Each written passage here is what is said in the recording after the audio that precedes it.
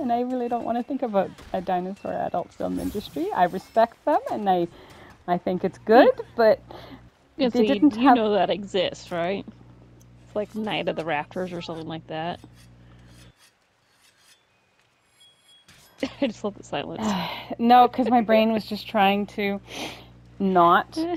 Like my brain was very quickly throwing the filter in place and being like, stop, stop, stop, stop, stop, stop.